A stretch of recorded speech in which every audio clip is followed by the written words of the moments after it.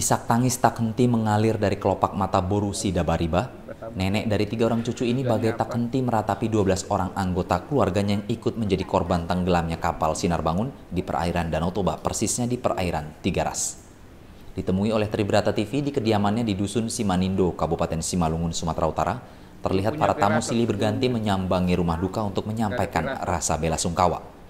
Sebanyak 12 orang anggota keluarganya yang terdiri dari suami, anak, adik ipar dan keponakan diyakini menjadi korban tenggelamnya kapal Sinar Bangun. Peristiwa itu terjadi setelah suaminya bersama anggota keluarga lainnya akan pulang ke rumah mereka selepas acara adat peresmian Tugu atau monumen di Simanindo. Naas di tengah perjalanan, kapal yang mereka tumpangi mengalami musibah hingga akhirnya tenggelam. Yang nelpon dari Samosir apa dari sini? Dari Medan. Dari Medan. Pak? Jadi harapannya apa, Bu? Harapannya ya orang itu mudah-mudahan entah udah meninggal entah sehat harus kembali lah ke rumah ini Hingga kini korban yang masih dalam daftar pencarian sebanyak 185 orang.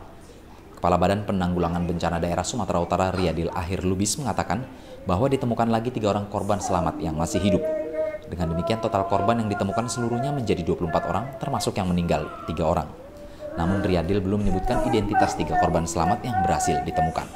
Dari Sumatera Utara, Tim Liputan Tribrata TV, Salam Tribrata.